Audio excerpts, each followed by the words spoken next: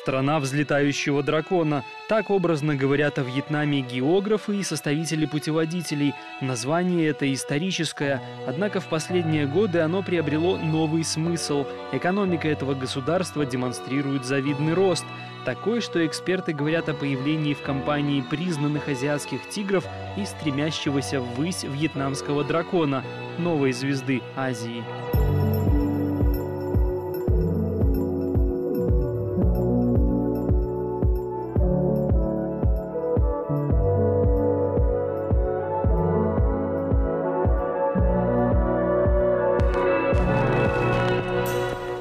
Расстояние между Минском и Ханоем более 7 тысяч километров.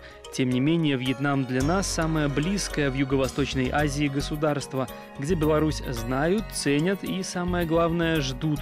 Практически каждый вьетнамец хотя бы раз в своей жизни носил Беларусь возле своего сердца. Дело в том, что с 1987 года на купюре в 200 донгов изображен трактор «Беларусь». Он так тогда назывался. Именно железные белорусы стали чем-то вроде символа возрождения вьетнамского села. Сейчас на полях этой страны каждый второй трактор – производства МТЗ. Мы уже импортируем не меньше 500 штук. 500 белазов. Да. Бизнесмен Нгуен Хунг хорошо зарабатывает на любви вьетнамцев к белорусской технике. Его компания на рынке уже 11 лет.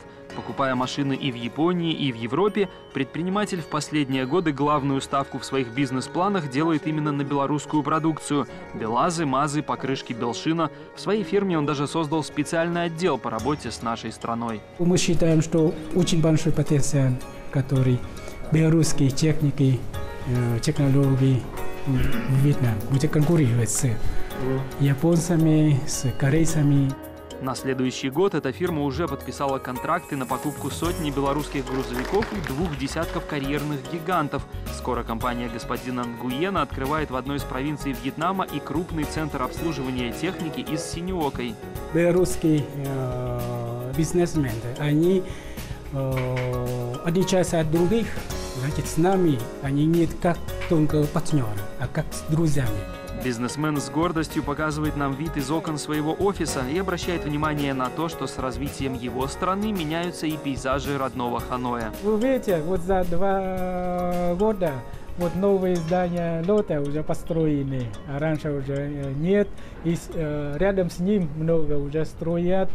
На фоне малоэтажных зданий, многие из которых построены еще во времена французской колонизации, растет новый Ханой, высотный и деловой. Вот этот 67-этажный небоскреб, к примеру, возвела компания из Южной Кореи. Вьетнам сейчас активно привлекает иностранный капитал. В этом году объем зарубежных инвестиций составил 20 миллиардов долларов. И транснациональные корпорации совсем не смущаются от того, что в названии этой страны до сих пор сохранились слова «социалистическая республика».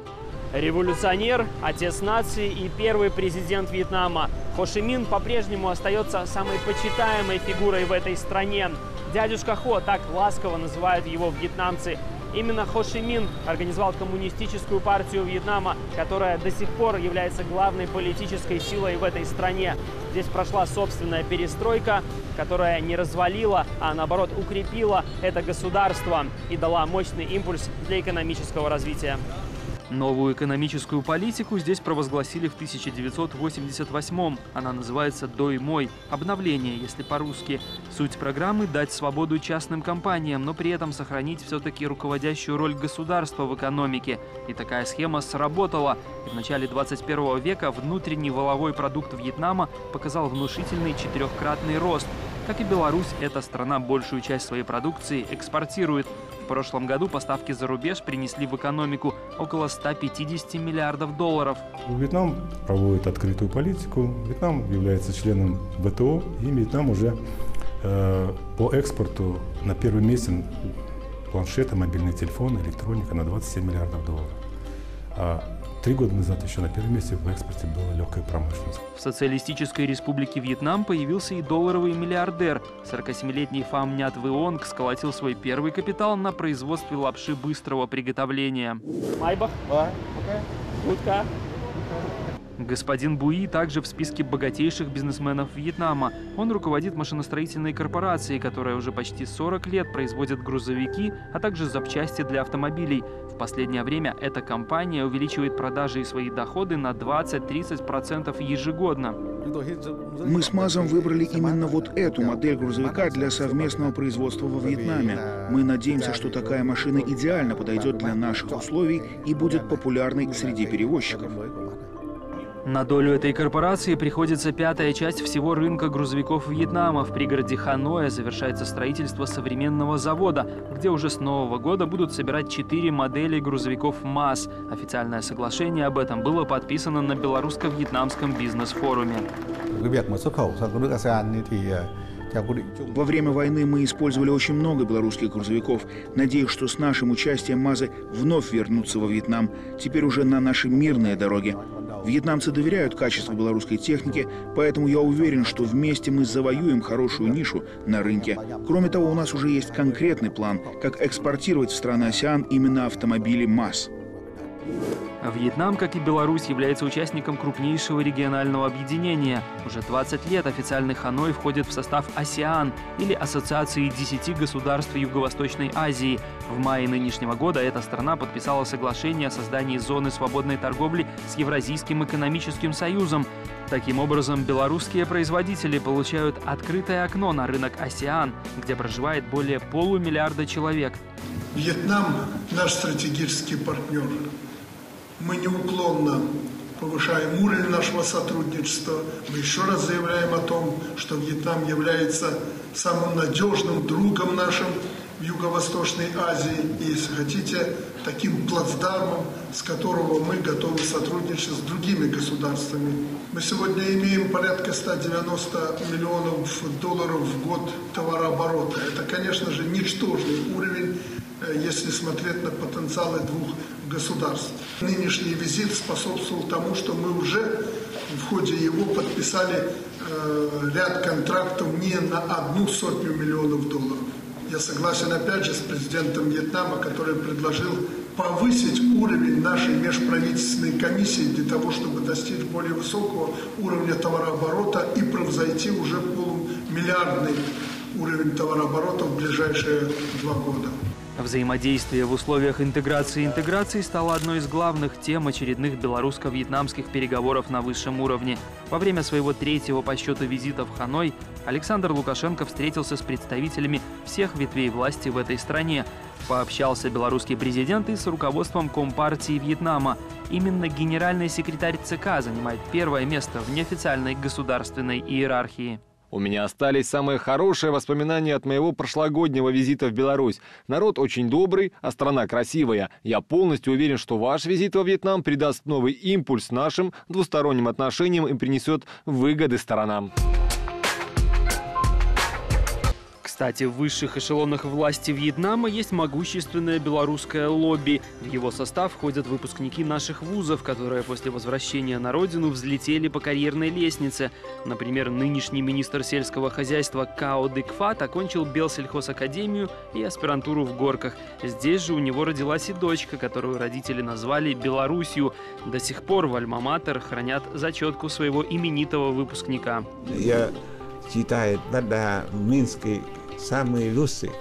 Нгуен Суанхан учился в Беларуси почти 50 лет назад, однако помнит те славные студенческие дни, будто это было вчера. Профессор стал видным вьетнамским ученым, написал почти сотню исследований в сфере физики, с лекциями ездит теперь по всему миру. Получив образование в Беларуси, два моих одногруппника стали во Вьетнаме министрами. Все приобретенные у вас знания мы использовали на благо своей родины. Как говорил наш президент Хо Ши Мин, когда пьешь воду, помни о ее источнике. Так и мы всегда помним, как много Беларусь сделала для нас. Несколько тысяч жителей этой страны получили дипломы белорусских вузов в советское время. И вот сейчас Минск и Ханой договорились о запуске новой программы. Она снова сделает для вьетнамцев образование в Беларуси доступным и привлекательным. Сейчас, к слову, 102 молодых человека из Вьетнама уже обучаются в лучших вузах нашей республики. Наша молодежь стремится попасть на учебу за границу. Я уверена, что белорусские университеты будут популярны среди вьетнамцев.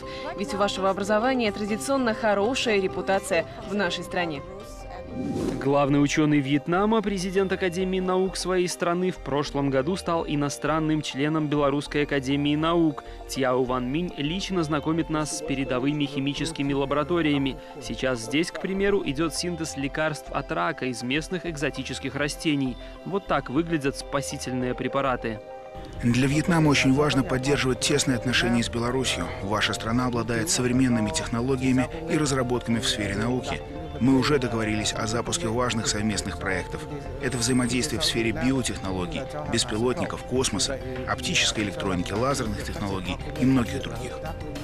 Вьетнам обладает богатыми природными ресурсами. Здесь есть запасы нефти, газа, бокситов, олова, золота. В одной из провинций страны находится и крупнейшее на территории Юго-Восточной Азии месторождение каменного угля. Кроме того, сельское хозяйство вывело Вьетнам в мировые лидеры по продажам риса, кофе, чая, специй. А еще в последние годы эта страна активно развивает сферу туризма. А как это переводится? Белорусские гости добро пожаловать в Вьетнам. Бесконечные пляжи Нячанга, побережье Фантьета с волнами, бросающими вызов серферам, древние храмовые комплексы для любителей истории и нетронутая природа в национальных парках для всех. Вьетнаму есть чем удивить туристов. В прошлом году здесь отменили визы для белорусов, поэтому местные турфирмы сейчас готовят специальные маршруты и цены для путешественников из Синеокой. Обсуждается запуск и прямого авиасообщения между нашими странами. У нас в Вьетнаме есть все то, что туристически из Беларуси нужно. Это хорошая природа, красивые пляжи, вкусные блюда с морепродуктами, свежие фрукты. И самое главное, это практически полная безопасность. Я думаю, что белорусские туристы, они спокойные, вежливые, Поэтому мы всегда с радостью встречаемся с такими гостями в нашу страну. Помимо акклиматизации, любому туристу во Вьетнаме приходится приспосабливаться к особому дорожному движению. Мотоциклы, скутеры – это самый популярный способ передвижения по Вьетнаму. 85% всех транспортных средств в этой стране двухколесные. Однако это не экологично и тем более не безопасно. Ежедневно а, на дорогах страны а, гибнут 30 человек в авариях. 70% всех ДТП случается именно с участием мотоциклистов. Правительство страны планирует в ближайшие годы вовсе запретить двухколесный транспорт в крупнейших городах. Место скутеров должны занять современные автобусы, такие как этот МАЗ-103. Разработка белорусская, сборка вьетнамская. Пока что выпущено две такие пассажирские машины, а вот в следующем году уже начнется массовое производство. Мы работаем над, над его стоимостью, так мы еще работаем над тем, чтобы это технически была ну, абсолютная новинка, того, чего нет вообще. Вот, поэтому вот такой вот вот такой вот красавец у нас получился. Вот эта машина идеально подходит для города Хашимин. И мы тоже можем осуществить определенного рода революцию. Одну транспортную революцию в свое время белорусская техника уже совершила во Вьетнаме. Мотоциклы «Минск» здесь предмет отдельного культа. В свое время именно на них пересели с велосипедов вьетнамцы. Мы любим Минск! То вы смотрите, это молодые люди, вьетнамские, молодые э, ребята. Просто у них любовь место. Минск – это как автомат Калашникова среди мотоциклов, говорят вьетнамские любители двухколесного транспорта. Купить такую технику здесь непросто, владельцы не спешат расставаться со своими железными конями. Помните пословица «Один старый друг лучше, чем ста новых». Хотя у нас сейчас современные мотоциклы, но мы все-таки любим Минск. Фан-клуб белорусских мотоциклов объединяет около полутысячи вьетнамцев, причем любителей Минсков есть во всех провинциях страны. Здесь даже родилась своя поговорка «Здоров, как Минск». Такую технику здесь ценят за простоту и надежность, особенно на горных дорогах. Анна Ти – дизайнер одежды, свободный художник, мать двоих детей и байкер. О собственном Минске мечтала еще со школы. Первые же самостоятельно заработанные деньги потратила на белорусский мотоцикл. Мне кажется, мы похожи характерами с моим Минском. Он мощный, выносливый и в чем-то рисковый. Только на этом мотоцикле я могу путешествовать по стране. Очень хотелось бы, чтобы в Ханое снова начали продавать новые Мински. Они были бы очень популярны. Вьетнам становится нашим во многих сферах, а все потому, что взлетающий вьетнамский дракон и стремительный белорусский бусел движутся в одном направлении –